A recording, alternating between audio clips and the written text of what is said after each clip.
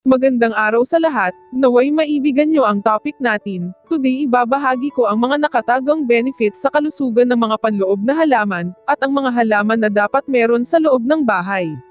Ang pagdaragdag ng mga houseplant sa iyong bahay ay makakatulong upang makapagdala ng touch of nature sa loob ng bahay, na lalong nakakatulong kapag natigil ka sa loob dahil sa panahon, mga paghihigpit sa paglalakbay o hindi magandang kalusugan.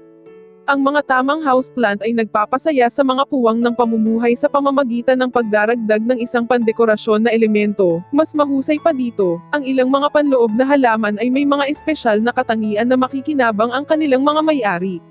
Narito ang isang mabilis na pagtingin sa ilang madaling hanapin na mga panloob na halaman para sa mga benepisyo sa kalusugan.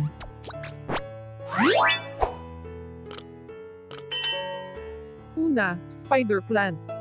Ang mga spider plant ay isang tanyag na houseplant dahil madali silang lumaki at mahirap patayin, umuunlad sila sa mga low light na lugar ng mga bahay at maaaring mabuhay kahit na may madalang na pagtutubig. Mayroon din silang positibong epekto sa kalidad ng hangin.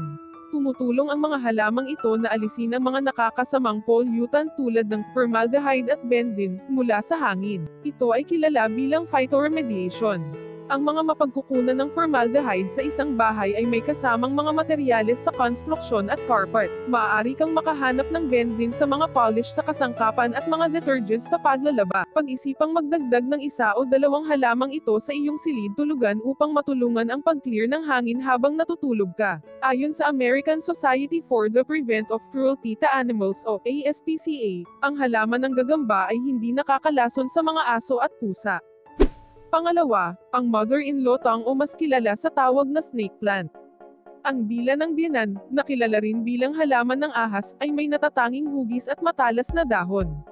Tumutulong din ito na alisin ang mga lason mula sa hangin, ginagawa itong isa pang mahusay na pagpipilian para sa isang houseplant para sa iyong natutulog na lugar. Tulad ng halaman ng gagamba, ang dila ng biyanan ay madaling alagaan at nangangailangan ng kaunting ilaw. Ang halaman na ito ay naglalabas ng oxygen sa hangin, at nakakatulong din ito na linisin ang hangin sa pamamagitan ng pag-alis ng apat na karaniwang mga pollutants sa sambahayan tulad ng formaldehyde, benzene, trichloroethylene at carbon monoxide. Pag-iingat para sa mga may-ari ng alagang hayop, ang mga halaman ng ahas ay nakakalason sa mga aso at pusa kung nakakain.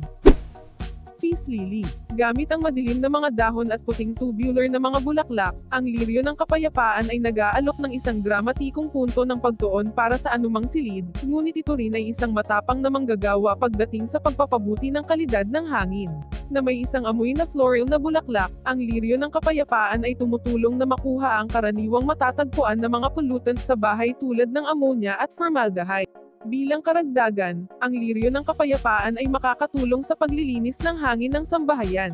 Ang mga pollutant na ito ay nangyayari sa maraming mga paglilinis ng sambahayan, pandikit, poles, waxes at material sa konstruksyon, at maaari silang negatibong makaapekto sa iyong respiratory at immune system. Pag-iingat para sa mga may-ari ng alaga, ang mga liryo sa kapayapaan ay nakakalason sa mga aso at pusa kung nakakain.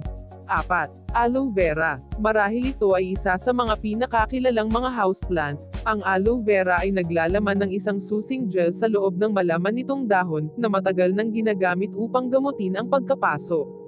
Ang isa sa mga pakinabang ng aloe vera ay madali itong gamitin, simply break off a small section of the leaf, at direktang ilapat ang nakakagamot na gel sa mga sunburn, pagkasunog sa pagluluto o pangangati ng balat.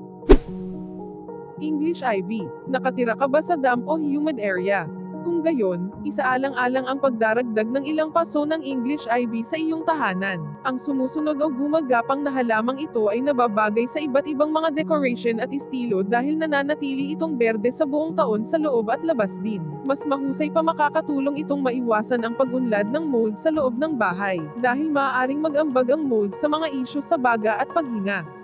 Nakakalaso ng English ivy kung nakakain, kaya tandaan mo ito kung mayroon kang maliliit na anak, apu o alaga. At panghuli ang Boston Fern. Kung nilalabanan mo ang patuloy na kahalumigmigan sa iyong bahay, isaalang-alang ang maganda at makalumang Boston Fern, dahil sa kanyang dahon na madaling makilala, at fan-shaped foliage. Ang Boston Fern ay isang powerhouse ng phytoremediation, dahil sumisipsip ito ng mga mapanganib na gas sa pamamagitan ng mga dahon at ugat nito.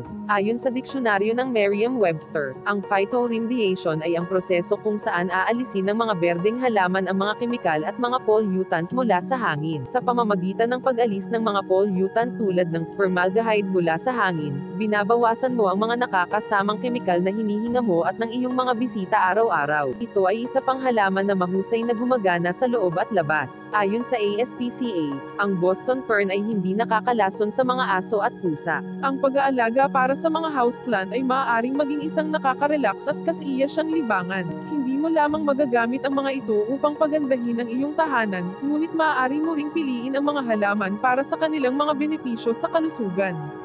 Gayunpaman, mahalagang isaalang-alang ang iyong lifestyle pati na rin kung paano ang mga halaman na ito ay maaaring makaapekto sa ibang mga tao o mga hayop na nakatira sa iyo o sa mga bambisita sa iyong bahay.